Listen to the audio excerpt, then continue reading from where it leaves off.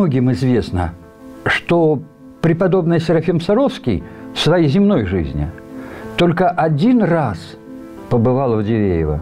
Это случилось тогда, когда он еще молодым иродиаконом вместе с настоятелем Саровского монастыря отцом Пахомием, будучи проездом в Дивееве, Соборовым на смертном одре основательницу обители, матушку Александру. И мне всегда было интересно выяснить, какой же дорогой он проходил и проезжал в Дивеево и обратно. А потом уже к нему разными путями шли и шли нескончаемые потоки паломников. А какими путями шли они? И какими же стежками, дорожками добирались к батюшке Серафиму дивеевские сестры? Ведь в отличие от многих, они регулярно бывали у него. А вновь поступающих в женский монастырь преподобный буквально заставлял приходить к нему чаще прочих, чтобы, пока он с ними лично преподать им духовное назидание. Так, например, был такой случай, когда в праздник Сретения Господня в 1828 или 29 годах он наказал сестре Просковье, только что поступившей в обитель, дважды успеть прийти к нему и возвратиться обратно. Следовательно, ей надобно было пройти 50 верст еще провести какое-то время в Сарове. Она смутилась и сказала, «Не успею так, батюшка». На что он ей ответил, «Что ты, что ты, матушка? Ведь день теперь продолжается 10 часов». В то время Дивеево было в трех часах ходьбы от Сарова. Это сейчас на машине от Цыгановки до Дивеева можно домчаться минут за 10. Хотя дорога стала длиннее, чем прежде. В старину, срезав путь, нужно было пройти 12 верст. А теперь по асфальту все 20. Так вот, наш нынешний двухсерийный телеочерк можно считать фильмом-путешествием по дорогам предков. Ведь это наши бабушки и прабабушки, дедушки и прадедушки и прочие прапрапра ходили по ним и век, и два назад. А заодно попытаемся реконструировать путь дивеевских сестер к батюшке Серафиму. Конечно, здесь все-все вокруг изменилось, но, тем не менее, вперед по современным трассам – но помня прошлое, на первых участках дорога Дивеева была мощеная. Выйдя из села, путники шли по проселочной дороге. Среди полей, небольших перелесков местность была волнообразная. Веселые зеленые холмы стелились направо и налево. Около болотной низины была устроена дамба с прекрасной дорогой – но вот дальше начинались тяжелые тропы с наезженными колеями. В верстах трех от Дивеева находилась песчаная горка. И если обернуться назад, то с нее открывался красивейший вид на Дивеевский монастырь. Здесь, по-видимому, имелась в виду некая возвышенность рядом с усадьбой князей Шахаевых, то есть у нынешнего Дома Милосердия в Осиновке. Дальше – Дивеевские сестры и другие богомольцы шли по петляющей дороге в сторону Яковлевки. Она и сейчас также петляет, обходя заболоченные места. Потому что в новое время асфальт положили аккурат по существовавшей старой дороге. И вот эта дорога – не что иное – как часть знаменитой посольской дороги или, по-другому, Большого Темниковского тракта. Немного не доходя до Яковлевского кладбища, где, кстати, покоятся и мои предки по материнской линии, путники сворачивали налево, в сторону Балыкова. Сейчас здесь окраина садово-огородного общества «Мотор». Так вот, этот названный старинный тракт связывал Нижний Новгород, Арзамас, Дивеево, Балыково, Саровскую пустынь.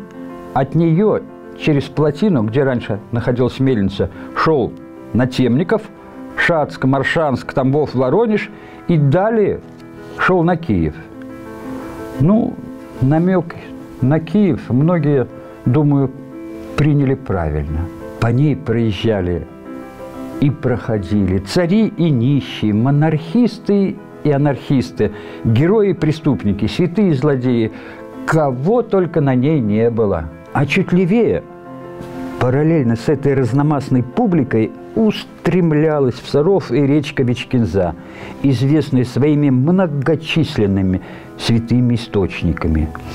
Один из них, о котором, правда, мало кто знает, бьет из-под земли во враге между Яковлевкой и Балыковым, пополняя нашу речку прозрачной и ледяной водой. На дальнейшем пути встречаются части старого русла реки Старицы, на берегах которых выросли огромные деревья, непроходимые вняк и другие кустарники, края непуганные, где и сегодня обитают дикие звери. Здесь они у себя дома. Природная красота окружающих мест – достойна кисти Левитана в любое время года. Давайте и мы полюбуемся на эти пейзажи, пока люди бездумно не вмешались в природу. И вспомним мудрое изречение. Путешествуя по чужим странам, мы узнаем места. Путешествуя по родным местам, мы узнаем себя – Замечу, что если идти неспешным шагом, то от Яковлевского кладбища до первых домов в Балыкове можно дойти за полчаса. А перед этим мы выходим на Березовую аллею у бывшего пешеходного КПП. Березки на ней были высажены нашими далекими предками вдоль вот этого знакового тракта. А затем с пригорка – взору современного путешественника открывается вид до горизонта, вплоть до яблоневого сада. Кстати, первым балыковским домом на пути в Саровский монастырь как раз был мой родной дом, где я прожил ровно 30 лет. Построил его мой дед аж в 1936 году. А монастырь, как известно, закрыли в 27 но паломники все равно туда шли вплоть до образования секретного объекта. А с 1901 года, после переселения из Тамбовской губернии, семья моих предков проживала напротив нынешней автобусной остановки на улице Дорожной, вот через дорогу от двухэтажного кирпичного дома. Кстати, бабушка по отцовской линии была непростых кровей из рода Орловых. И, как не скрывая родословную, даже весь ее внешний вид выдавал ее породу. Между прочим, она была не одна такой. На улице Мостовой, которая также была частью знаменитой дороги, жили три сестры Мантуровы, родственники помещика Мантурова, того самого сподвижника преподобного Серафима Саровского. Да и само Балыково тогда считалось богатым населенным пунктом, поскольку здесь находился четвертый в губернии по числу работников железоделательный завод. В окнах придорожных домов путники замечали зажиточность, занавески, лампы.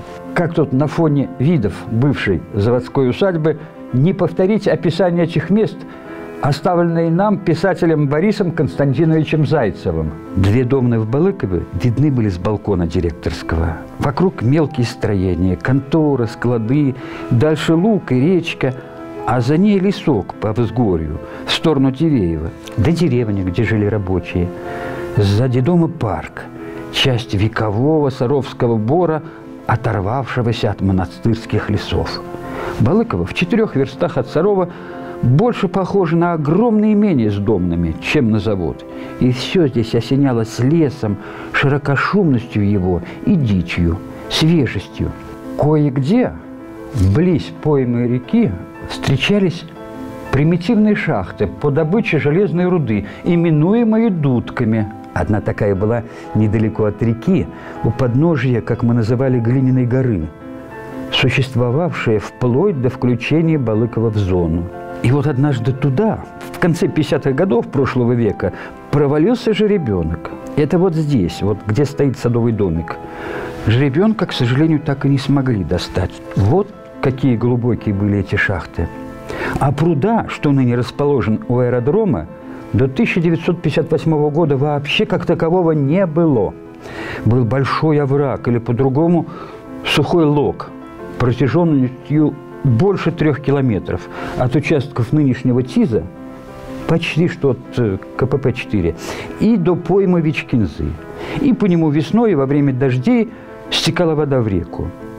Но 65 лет назад его перекрыли плотиной и сделали пожарный водоем. Другая часть оврага по прошествии стольких лет заросла вековыми деревьями и стеной кустарников. Ну а паломники шли дальше и немного правее по отрезку той самой знаменитой Темниковской дороги, выложенной булыжником. Небольшой ее фрагмент до сих пор остался неподалеку от правления садового общества «Красная звезда». А за Балыковым уже виднелась темная полоска Саровского леса. Прежде чем достичь его, путники проходили мимо большого гречишного поля. Глядя на него, они могли, подобно еще одному писателю, проходившему в свое время по этой дороге, Сергею Александровичу Нилосу, увидеть, как солнце ударило по серебру гречихи и точно бриллиантиками рассыпалось в росинках просеявшейся на нее тучки. Да, на подходе к Сарову с нижегородской стороны были поля. А тотчас за Тамбовским рубежом до самой пустыни на протяжении четырех верст стоял непроходимый дремучий лес. Это тот самый рубеж на границе двух губерний, у которого в 1903 году представители народов Поволжья встречали царскую семью, которая направлялась на торжества по случаю прославления в лике святых старца Серафима. И вот здесь путники, как в сказке, оказывались на распутье трех дорог и могли добираться до обители тремя разными грунтовыми стежками-дорожками. А какими, мы расскажем вам во второй части нашего очерка.